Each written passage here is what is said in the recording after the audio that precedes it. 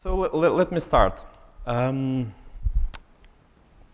my name is Anton, so I'm working as a VP of engineering at Wavecell for two years already uh, here in Singapore. However, I'm originally from a beautiful city of uh, St. Petersburg in Russia and um, come to visit this uh, nice place. However, it's uh, less than, last year it was less than uh, 30 sunny days there, so I enjoy uh, living in Singapore. So I'm building APIs in telecom sector for 15 years already and I'm going to talk with you about a business on uh, APIs. So according to uh, different API directories, amount of publicly facing APIs varies in the range from 10 to 22,000 APIs. And this is just the tip of our iceberg. We are unable to count the number of APIs that connects businesses, in fact. It's a huge amount. So, and consider there are many talks today and tomorrow about uh, financial related APIs. So here's uh, just a graph uh, from a ProgrammableWeb that uh, nowadays it's more than 2,500 financial API exist already, which is only registered on their platform. And uh, how serious is a business uh, based on API? Let's look at some of the largest uh, where API is a key driver of, their business growth. So first example is Salesforce. Over half of their revenue actually comes from uh, API and keeps growing. Uh, Expedia is well known for affiliate marketing. Over 90% of their uh, revenue is driven by different types of uh, API integration with travel agencies and so on. And like uh, more than 70% of uh, items that are listed and we see on eBay actually was uh, published over API. And Stripe as a well-known uh, payment API provider with a 20 billion US dollar uh, valuation. And I believe most of you heard about uh, four main business model for APIs. And if you want to deep dive uh, into detailed classification, search a line for the presentation of uh, John Musser. He described more than 20 models with the samples uh, back in six, six years ago. So you can see that some APIs are free to use. For example, the uh, Smart Nation initiative by Singaporean government who give access to a lot of public data sets and also allows to developers to use some real-time uh, APIs such as car park availability or real-time location of uh, taxi drivers or air quality. And uh, some APIs are just uh, extra features for cloud-based services. Their goal is to help users make a better use of such service. For example, Zendesk, who provides API to create uh, support tickets programmatically. And uh, for some, some APIs are just the main product of the company, the main way how they consume company services. And that's our case at Wavecell. So I will focus primarily on this business model onwards, uh, where revenue is driven directly by volume of API usage. So Wavecell generates more than 90% of our revenue by providing services over API.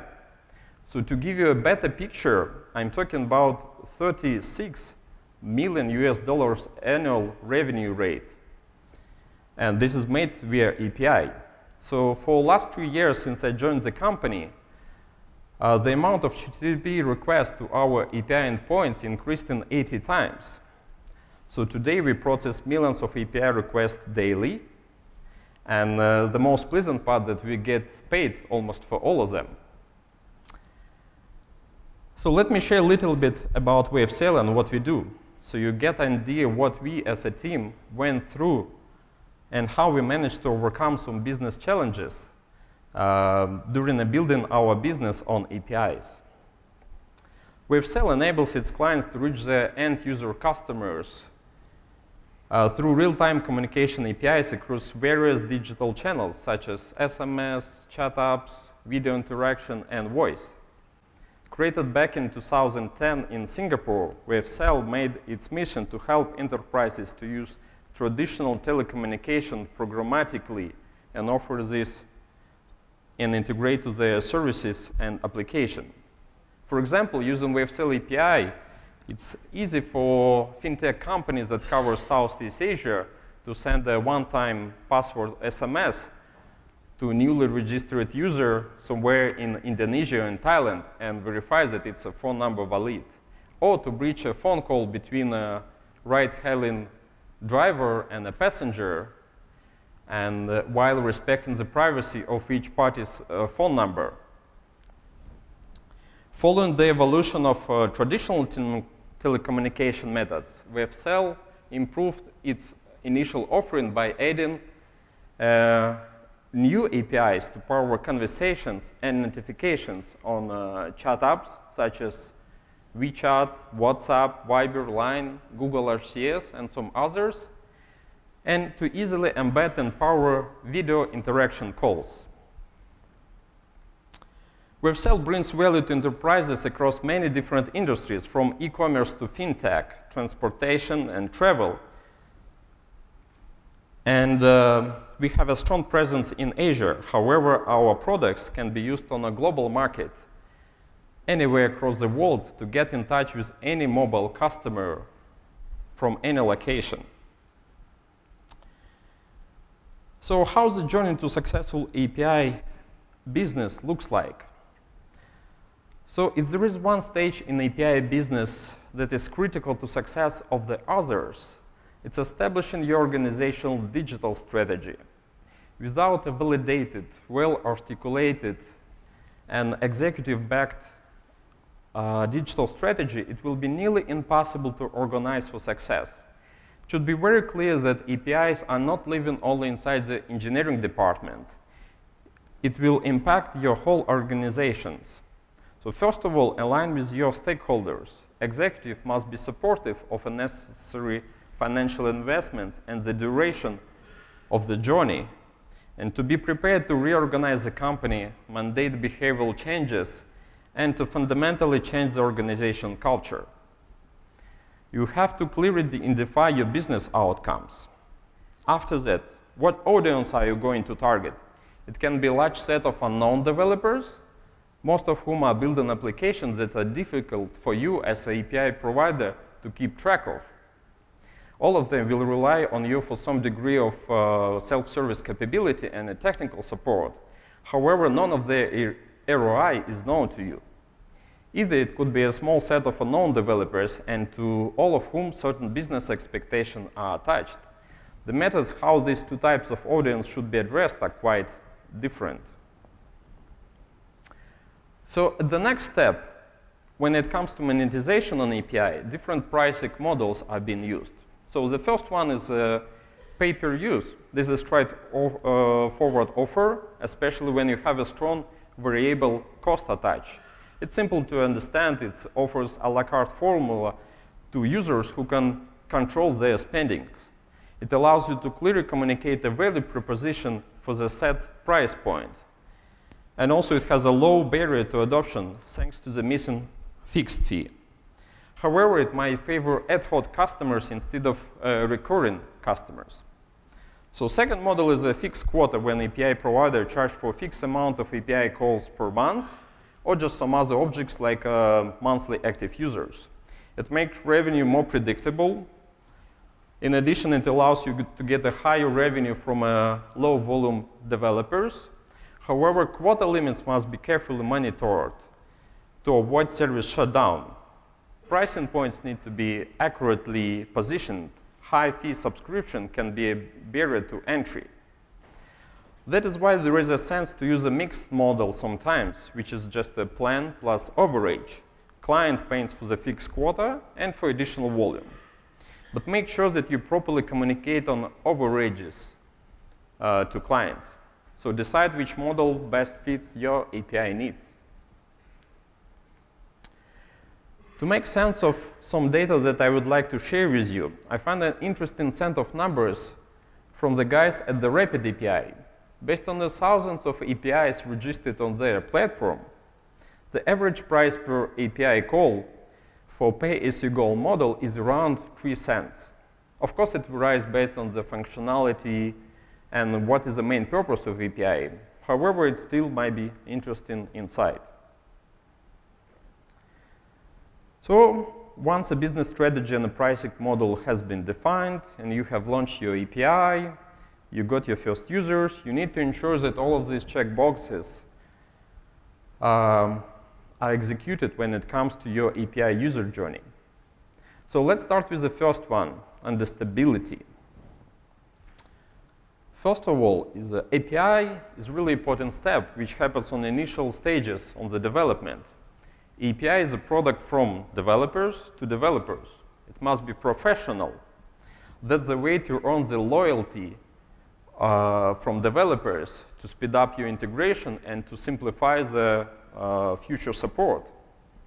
I spend hours of brainstorming with my engineering team, even sometimes on a basic API endpoints, because the, it will cost much more if you decide to change it later. API must be RESTful, follow best practices, use uh, ISO standards, and put efforts to simplify complex flows. For example, recently we were integrating API of one survey platform. We were surprised that this is a well-known company. However, they have very unusual format of API. So at the end, we spent two times more time to integrate them and also was troubleshooting bugs on the way. Obviously, before driving straight into documentation, developers should be provided with some articles, guides, explaining the key principles of API and a brief summary of the business context in which API should be used for. It might seem obvious, but the, in the eyes of developers, if there are two APIs with almost the same functionality, but if they have a different level of documentation quality, it plays a significant role for them. If possible, documentation must be available online and keep evolving there. So when I receive API specs in just a PDF, it's already a sign for me that probably this, for this company, API is not the main business. And thanks to the Swagger team who managed to create and uh, promote uh, open API spe specification in the world. So it's a great way to share your uh, API spec and quickly generate uh, client libraries. And obviously, uh, sample applications should be provided uh, with the comments to developers interested in learning how different APIs should be used together. And what I see more often, the developers started to exchange uh, Postman collections. Uh, let me elaborate on why all of this important uses the graph showing above. Okay, something dropped. Um, it was shown on recent API Days conference in Paris uh, in December. So more than 100 of companies from 44 countries was surveyed to get this data.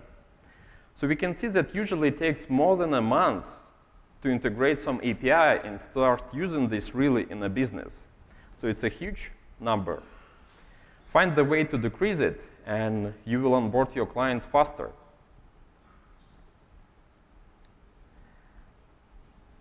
So the next one is how you're going to promote your API and make it discoverable. Most of the time, unless your reputation is big enough, people will be end up at your page, at your API, because they were Googling like something like um, API to send birds or getting a shipping cost of uh, sending the birds in a, in a Python. So you want to make sure that your online marketing strategy is focused toward maximizing visibility on these channels while ensuring relevance. If it's not relevant, you might be joined under unproductive uh, support interactions. You might be paying for the traffic that doesn't bring you any revenue. And API I mean to be used in an ecosystem in a business tools, probably like CRM, analytics, support uh, platforms, marketing tools. It's a key to identify the services connects to yours and to tie the stronger relationship with the key players in these fields. It can take the form of a joint offer or just a basic recommendation.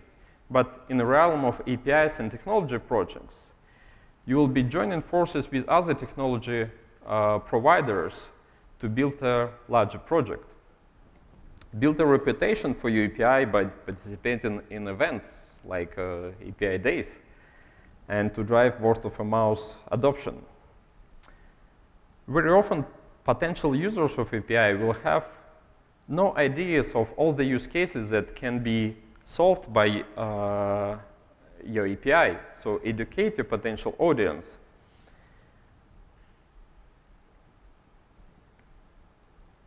So next one is uh, to give possibility to developers, to your clients, the way to experiment with your API. All of us want to try first before buying, right? Especially this is true with API, you need to see how well it solves your business problem. Especially true with API, which uh, business model requires some upfront payment. So give them and build some functionality of a trial. Developers should not be afraid of using your API while experimenting. They don't want to trigger real actions like uh, sending a million of SMS or just uh, spending, money, uh, spending money while exploring capabilities of your API. So for these reasons, offer them a sandbox with detailed feedback of what's happening. It makes integration easier and faster. At this point, I have to mention the Stripe. Have you seen their dashboard? No, it's probably the best of uh, the best. They made a great job. So it really gives a lot of possibilities to developers uh, for use a sandbox uh, solution and to, to give you full visibility what's happening with the API.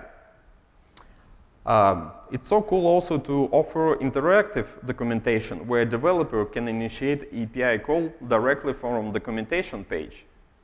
It should be the speaker from a stoplight company here in this room.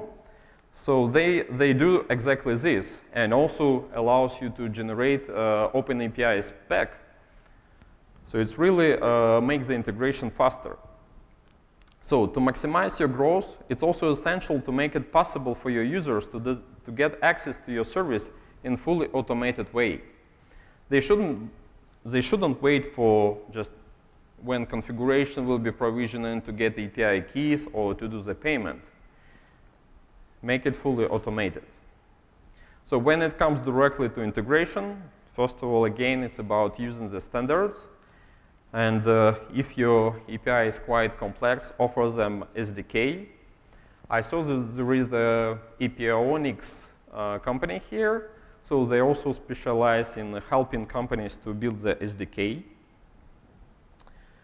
and um, save some time for your support team by building FAQ.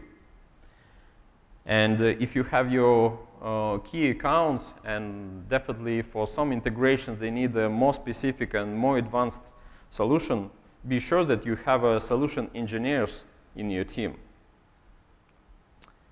And build the efficient dashboards for them. It can be hard to troubleshoot what is happening when integrating API. You give to, for them as much transparency as possible. A lot of time, API integration is meant to connect tools together by identifying what are the most common tools alongside um, your API and creating a standard integration. You can make it almost plug and play for users to start using your service. So once the previous steps are mastered and you should be all set uh, to bring your API towards a commercial success, to do so, just like for any other type of product, you will need to define and execute a complete product strategy. You need the full support of your sales team, marketing team, product managers, and support. And uh, obviously, growing uh, an API product into successful business doesn't come without the challenges. So let me share a few of them that we uh, we have self-faced. By getting more users and more usage, new technical challenges will present and will need to be taken care of. We also face challenges in the monetization and uh, competition. First of all, as your API will become more and more important to your users, since their business may depend on you, it will be a key to make sure that they don't experience any service uh, disruption. In other words, you must guarantee 100% uptime. I know that for some of our clients, uh, our services are so key and important for them, so they even include us into their dis disaster recovery plans. It's also vital to invest in a lot of internal tools that will help you monitor your uptime and your processing time and that your API working uh, as expected. So for example, the central logs aggregation, it might be not a cheap project, but you still need this to serve your clients better. While having uh, just a few customers sending hundreds of requests a day doesn't require the same infrastructure as when you have a thousand of customers who are sending millions uh, requests a day. So thanks to the cloud computing, it's now easy uh, to build elastic infrastructure. Be prepared for this growth, and it also uh, give you uh, flexibility on managing your infrastructure cost. We also spend a lot of efforts on decreasing the latency of our API. So the faster it works, the more you can process. It means that the happy developers that who use this API and are less dependent on your infrastructure again. Uh, while serving the customers on a global scale needs a cloud infrastructure distributed in the same way. And also don't forget about some local constraint. Is uh, anyone is planning to have uh, clients uh, in the mainland China? Hmm? How are you going to provide a reliable API availability across a great China firewall to them? Think about this. Obviously, uh, versioning, some customers actually stay with you for years and you still have to maintain their deprecated version of API it's also some cost. Security is really important part of any API. If hackers wants to attack you, he will probably focus on, on your API first. So allocate enough resources to spend on penetration testing, security audits, and encryption. Sometimes it's not easy to decide um, how to charge your clients for API usage. Are you going to use a prepaid model or postpaid model? Clients will probably prefer the postpaid, but in that case, be ready to uh, solve the challenges for money collection and uh, fraud prevention. We see that even some reliable companies who has enough money in the bank still delay their payments for months, and it might impact your cash flow. In highly concurrent industries, it's very likely that you will face competition with other players. Even though it's uh, harder to switch the API providers than just to switch office supplies provider, uh, when a competitor comes with more aggressive pricing or better features, it can be even complicated to retain even more loyal users. So this is why your API should keep evolving and continuously bring more value to your customers.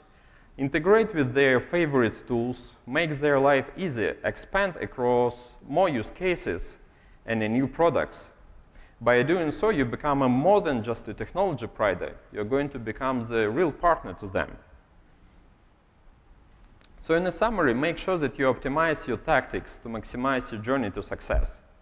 When the success comes, be wary of its price and the new challenges that will come together with your new scale. There is one key aspect to remember is that you build a product that businesses and developers will grow to be dependent on. So it's essential to not let them down. By creating a strong relationship with your users, you will understand their challenges and evolve to bring them more value with your service. Thank you.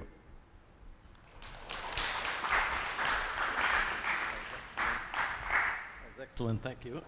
Okay, this thing works. There we go. Cool. We've got questions. Uh, can you tell a little bit more about deprecation of APIs? So how can you manage your users to stop using the version of API you don't want to support anymore? And what is the typical uh, time to support such versions? So what we do is uh, first we identify all of these clients who is actually still, it's uh, the first part. to define the clients, you start communicating with them directly. Guys, we have a new version. It allows you to do more features. It, it, gives you more flexibility. So we promote and facilitate them to move. However, that's the reality that some companies, because they have also their backlog of a task, it's uh, sometimes you don't bring them really value. They, they don't see the point actually to, to migrate. So in that case, if he still this client generates some money for you, you have to maintain this old version. So what we do, we still have more than a dozen of clients who use our version that uh, was created more than three years ago. That is why I mentioned that it's also important to design this API in advance. Try, because it's really hard to change over the time. So try from the very beginning to think all of the uh, potential cases in the future and to make it expandable in the future. So it's really crucial part of uh, designing initially. But after, yeah, because it's reality, you have to maintain it at the end of the days.